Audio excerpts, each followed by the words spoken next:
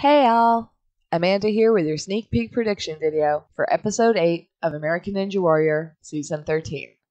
This is our third of four semi-final episodes where only the top 15 ninjas and top 3 women will advance to the Vegas finals. The ninjas with the two fastest times of the night also run against each other in a power tower showdown at the end of the night where the winner earns a safety pass, ensuring that if the owner falls anywhere on stage 1 or 2 of the Vegas finals, they get a second chance to run that course again. Again, I have no affiliation with this show, nor do I have any insider information, but as always, I will do my best to share what I've heard and take my best guess as to how each episode may unfold. But as you all know, with this show, anything can and probably will happen. But before we get into that, like the ninjas running tonight, first we have to get through this 10 obstacle course. Again, we start with the shrinking steps.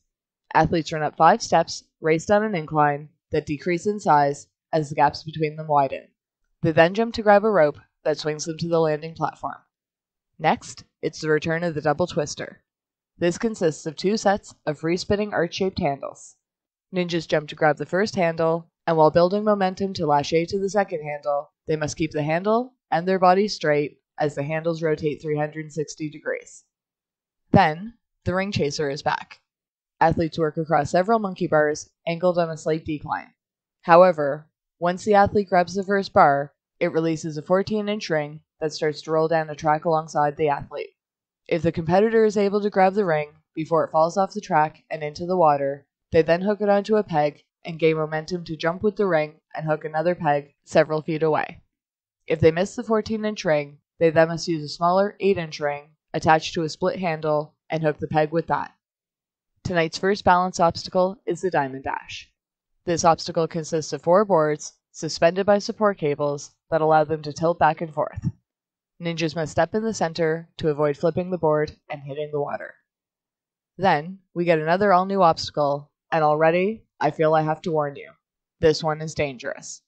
I myself hate hearing spoilers, so I'm really one that tries to avoid spoiling things for others, but I did watch a sneak peek run just so I could try to see this new obstacle, and I was not ready for what I saw. The new obstacle is called Drop Zone, and it consists of three moving pieces. I will try my best to explain, but I'm sure my explanation is going to make it seem more complicated than it actually is. The first piece is a pole that ninjas must turn from the right side position to the front position from how the ninja would be seeing it turning it counterclockwise. Once the bar is facing forward, it drops straight down. Ninjas then build momentum to grab the next piece, which is triangle shaped. Ninjas turn that piece clockwise from the back position to the front, and then it drops straight down. They then lash to another pole, turn it counterclockwise, and jump to the landing platform. I've only seen this in action once, but already I see a major concern. Athletes are really going to have to be mindful of where their heads are when these contraptions come crashing down. Ninjas usually like keeping their L's when on an upper body obstacle, but this time, just like I thought the ninjas were going to break their arms holding onto the corkscrew as it dropped and turned, I can't see this obstacle sticking around without some kind of modifications being made. We'll see. Then, athletes scale a 14 and a half foot warped wall, and then start the back half by thrusting themselves up a salmon ladder using a bar to land on rungs above them. Then, returning from last week, it's Padlock. It's a great obstacle, but my guess couldn't have been further off. In my opinion, it resembles a combination lock more than anything else. It acts like one too, as ninjas have to jump between three moving wheels to make it to the landing platform at the other end. The first wheel has an opening at the top, and ninjas must turn the wheel 180 degrees so they can put their hands through the opening, now at the bottom, and lash to the second wheel. The second wheel has a ledge at the side, and ninjas must move the wheel so that the ledge is at the bottom. They then lower themselves to be able to hold on to that ledge with their hands and lash to the last wheel. The last wheel turns slightly to the left and right, and ninjas must flip the wheel so they move from the front of the wheel to the back, where they can jump to the landing platform. Again, I'm sure I'm making these obstacles sound a lot more complicated than they are, but it's the best I can do.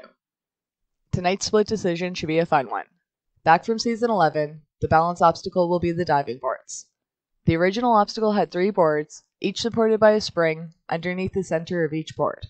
The second board was shorter than the first and the third, and ninjas had to keep their balance as they crossed. I would not be surprised if a fourth board was added, but we'll see.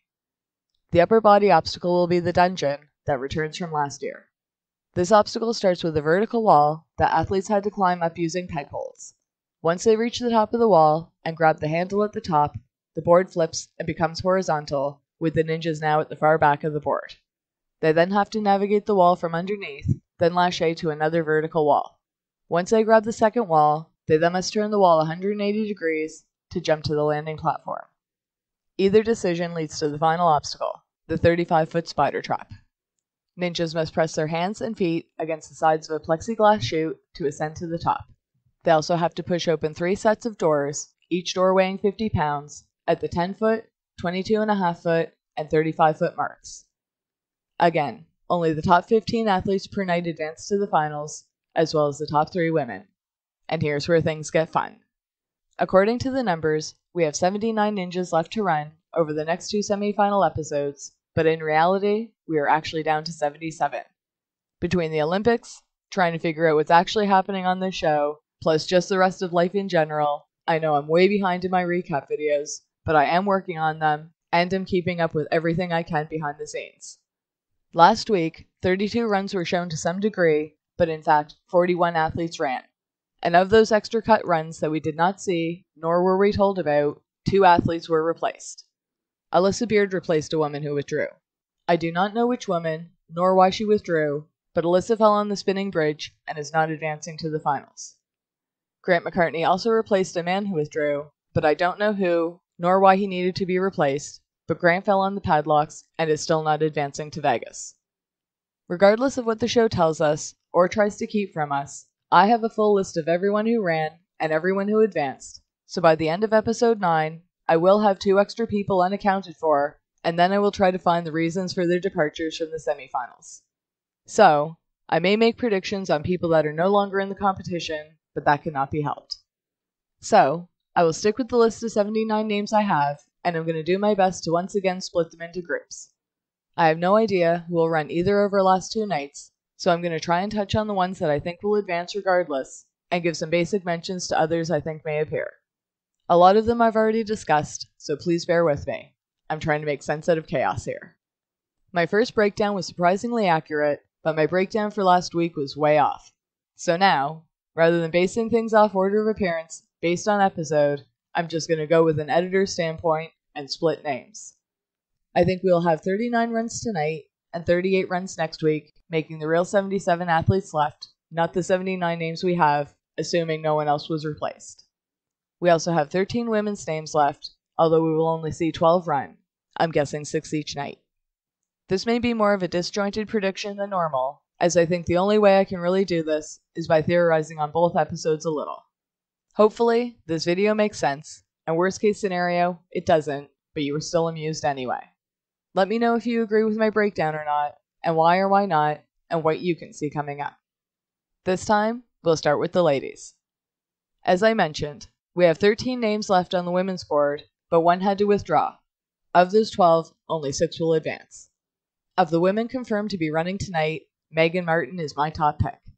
Anyone who's been following my videos knows that Megan Martin is my favorite female ninja, and I will always cheer for her. I can definitely see her being at the top of the leaderboards tonight.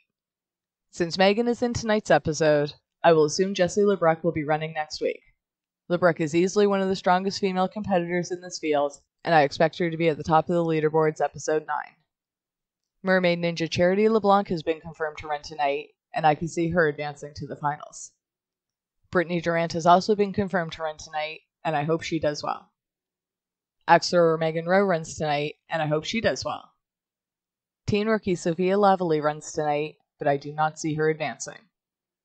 I can see at least one, if not two other women running tonight, and of the names I have left, I would say Lindsay Eskildsen, Alyssa Barcelona, and Taylor Amann all have great chances of advancing whenever they run.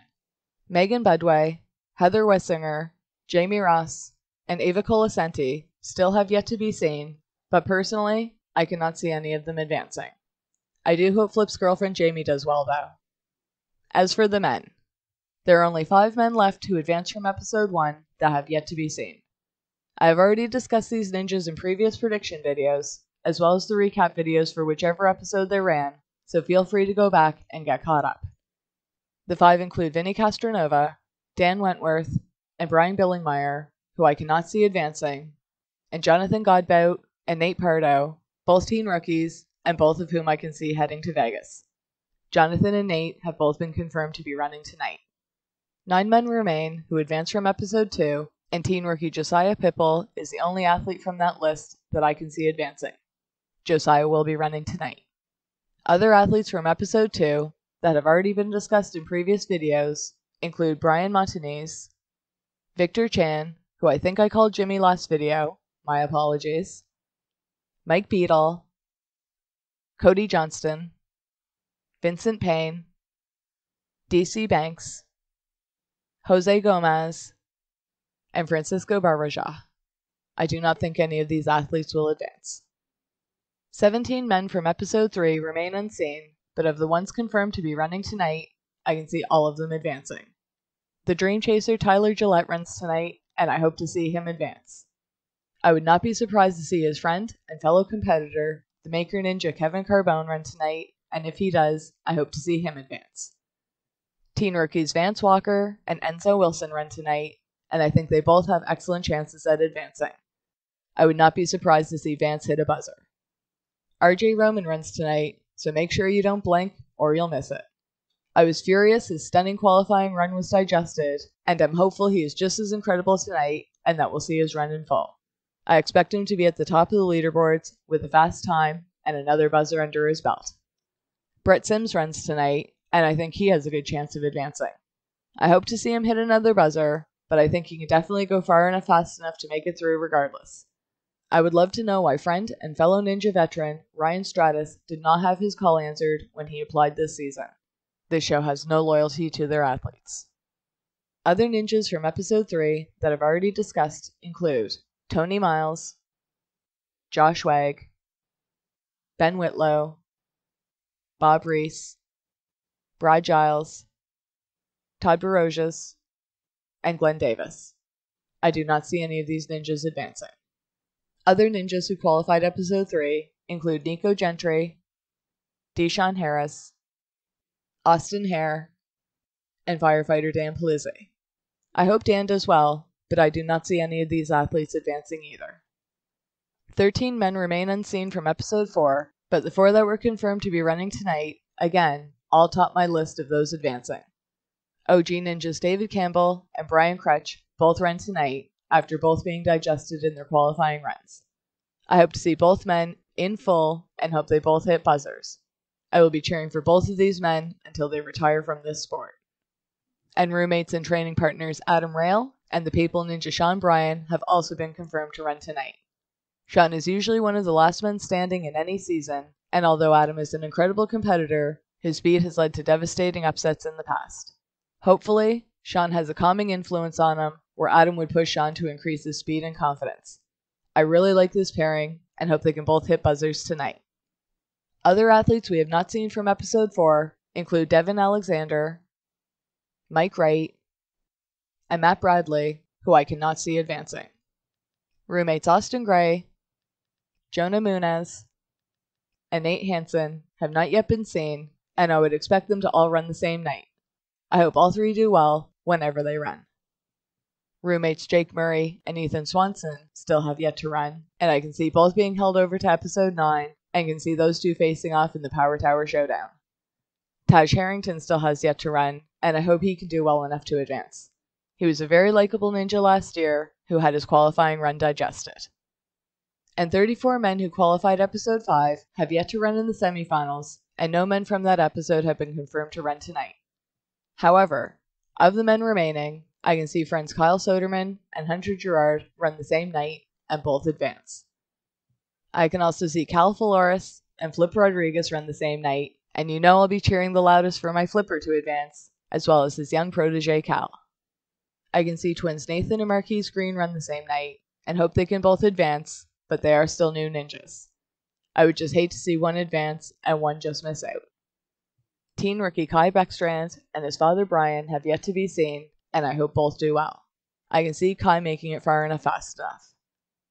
I can also see Jamie Rahn advancing to Vegas and would love to see him hit a buzzer. Cam Baumgartner and Donovan Metoyer were definite standout performances for me last year, and I hope both can make it to Vegas whenever they run. I hope Tyler Yamauchi, Eric Middleton, Sam Garay, Rue Yori, and Kyle Schultz do well and can make it far enough fast enough to advance.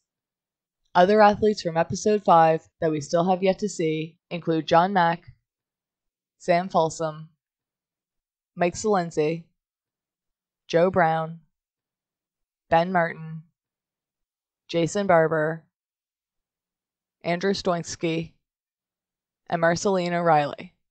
I do not see any of these ninjas advancing. So, those are my predictions for episode 8, but no matter how far off I am, by the end of the episode, I will know exactly who's left to run episode 9 and can hopefully provide a more detailed prediction. I will be working on the last few episode recaps as well, but in the meantime, if any of you have any theories, please feel free to play along. Leave a comment below on what you think of the season so far, who you'll be cheering for to take it all, or any other ninja related content you'd like to discuss. Check out NBC every Monday night to catch all the action, then come back here afterwards for our full recap. Check local listings for details, and until next time, enjoy the show!